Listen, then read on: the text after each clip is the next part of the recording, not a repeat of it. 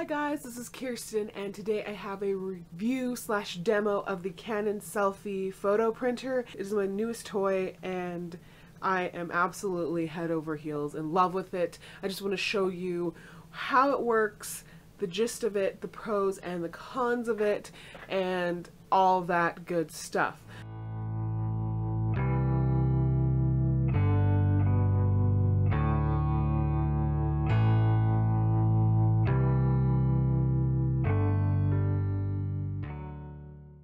So first things first, this is meant to be like a portable printer, photo printer. You can use it with your phone, you can use it with your computer, or you can use it with a USB cord. So like if you had a camera, you could just put the wire in, do it directly from here.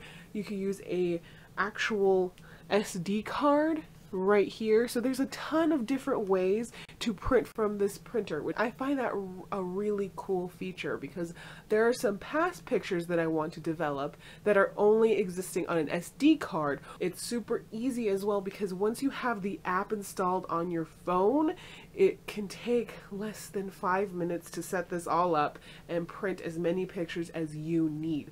I think this printer is ideal for scrapbookers, smashbookers, any sort of paper crafter because you can print as many pictures as you have paper for, of course, and immediately use them in your designs and your layouts. So it's super amazing. I wouldn't say it's the most portable of the printers out there, photo printers out there. There are smaller ones. There are the Polaroid cameras. There are, um, I think, a Pogo or Pono. I don't know the exact name. LG printers. I looked into a lot of them.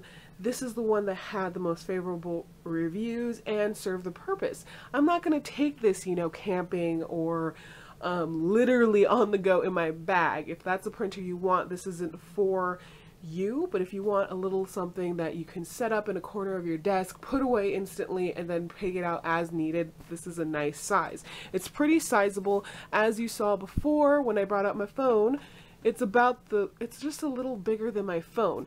Still pretty sizable, but it folds up nicely. This tray comes out, this folds back, the wire cord here rolls up, and it fits in about a shoebox of a space. Another good feature about this is I liked the size prints that it provides. It does four by six pictures and if you want a smaller picture, all you have to do is make a collage on your phone or on your computer and you could get even smaller ones. But with something that's even tinier, like a tinier printer, like a Polaroid printer, you only are stuck with those tiny little options. So this gives you anything from 4 by 6 to as tiny of a collage picture as you want to make it. But the major con for me is, it's something that several other reviewers pointed out, so I knew beforehand what I was getting into.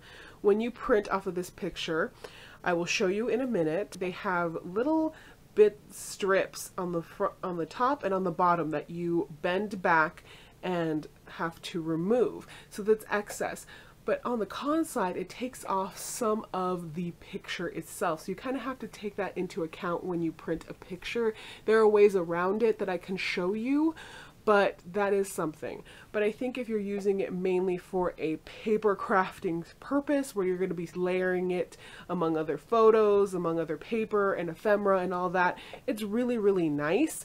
But if you're just putting it in a straight up photo album, it might that will take off the 4x6 measurements and make it a little awkward to fit perfectly in a photo album.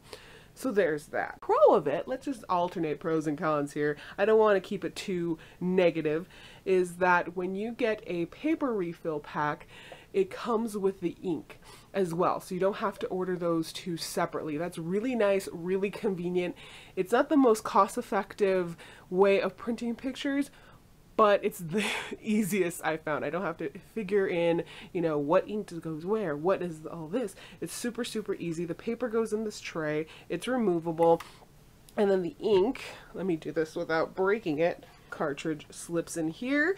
As much paper as you get is the exact amount of ink you get. So if, let's say it's a 108 picture pack, the ink cartridges that they give you is just enough for 108 pictures. So that's really, really nice. Makes it super, super simple. I love this thing. It has really helped my paper crafting because I would always be super lazy. It's so inconvenient to have to go drive down to your local pharmacy or photo developing place, sift through their machine, print the exact pictures, and if you mess up a picture or you do this, it just makes it a lot easier and a lot quicker. And everyone knows quicker is better. so let's just turn this on and show you how it works. So as that's starting up, I'm going to be showing you really quick how, ooh, little noisy. That's not annoying at all. So it's a bit noisy, but again, not the worst thing in the world. I'm going to show you how to do it on your phone. There is a Wi-Fi capability, so you could do this wireless through, wirelessly through your phone. So let's just show you real quick. So once you turn it on, I don't know how well you're going to see, you're going to go to your Wi-Fi area. They give you the password. You're going to find CP 9, 10, and a whole bunch of numbers. So click that one you're going to connect and you are connected to the printer. So now you can print wirelessly. If you're wondering how you get to the actual password for this Wi-Fi, because you do need a password, it's really easy. You just press OK and you have the password on the screen. So I already have it saved to my phone and that's all I have to do. I picked it, it's now complete. Now, how do you print it from here? You have to get the app Canon EPPP this little printing one right here. Click it. Easy photo print, Canon. Go to images. And I have some that I already want to print. And it shows you all the images that you have available to you. Then I'm going to select one. Which one shall I print? So let's print this collage here. Hold down, clicked it, selected it. Then press print and you have the option to have a border or borderless. I always choose borderless and the amount of copies here. I just want one, so I print.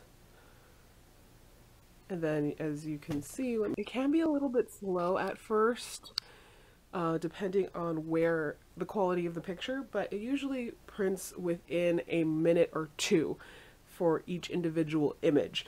So it's not too bad in my opinion. And as you can see, how it prints is it prints in layers. So the yellow layer is first, goes backwards, prints pink or magenta and then blue and then a clear coat which is really cool and fun to watch. Immediately after that, the final glaze, you can touch it, you can dunk it in water, you can do whatever you want with it and it's completely, completely done. So here it is, here's the final picture. Hi family, friends. uh, sorry, you're on a video. And see how I was telling you that it has this little layer right here that you have to remove? And it did uh, cut off some of the image itself, but that's okay. I factored it into it when I made the collage. And boom, here's my finished quality. It has pretty decent, let me just zoom in on my face because I don't know if my family wants to be in it, but as you can see, I don't know if my camera is going to be able to pick it up, but it is pretty decent quality. It's pretty decent quality, really easy, and you can handle it immediately afterwards, which is so great, especially for people that are impatient, like I said before. Overall, I would give this printer a 4 out of 5. The only thing that I don't like about it is the fact that this little perforation not only takes part of the image, but it leaves it kind of rough. So for people that are very detail oriented, that will be very annoying.